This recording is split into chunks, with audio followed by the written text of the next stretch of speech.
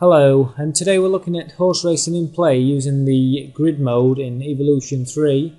Um, we're using the tick offset tool, unhedged, and uh, basically what we're going to try and do is find any horses in this race where the odds are shortening, and we're going to throw in a quick back bet, get three ticks, and have the tick offset tool get us a nice profit.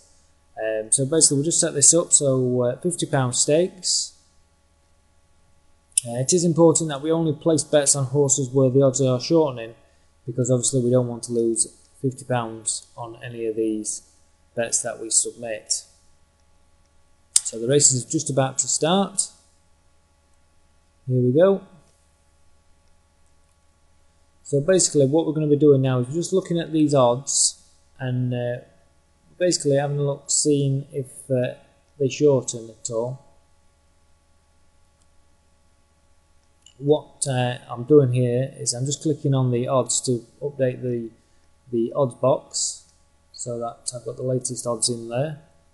I'll do that each time just before I submit the bet.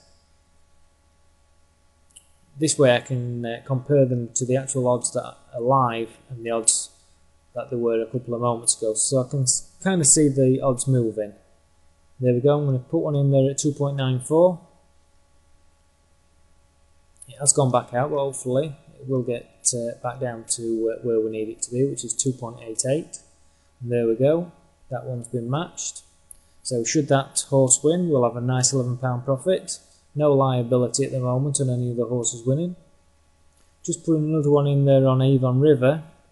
That's gone in at 5.9. And we're looking for 5.6 on the lay side. There we go, that's been taken. So we've now got a £15 profit should that horse win.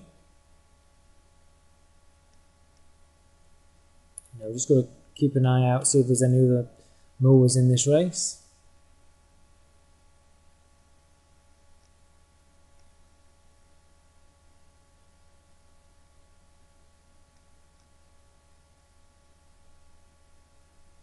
It's quite a new technique, this one, and it's something I'm just sort of uh, playing with at the moment, but um, so far it has worked out very well.